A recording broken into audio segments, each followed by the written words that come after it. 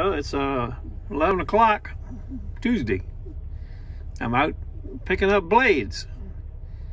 I picked up uh, another pair of loppers from a guy, and I don't know what's in that box, but it feels like a lot of knives.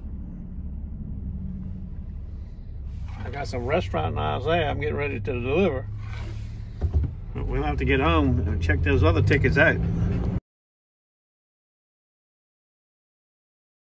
White Container has some nice tickets in it. All Wusthofs, a whole gathering of them. Chefs, Santoku, little teeny parrots, birds' beaks, and six, I think six, one, two, three, four, five, yes, wait a minute, that can't be right. Yeah, six steak knives, and some kind of scissors I never heard of. And a Chef Sharp 16 inch slicer.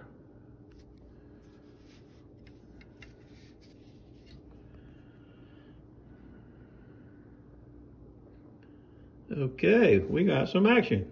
Nice action too. I like Wusthofs.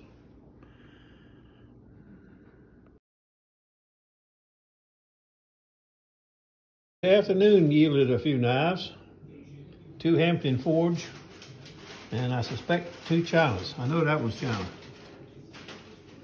And a really nice little Victorinox. So today was a pretty good knife day.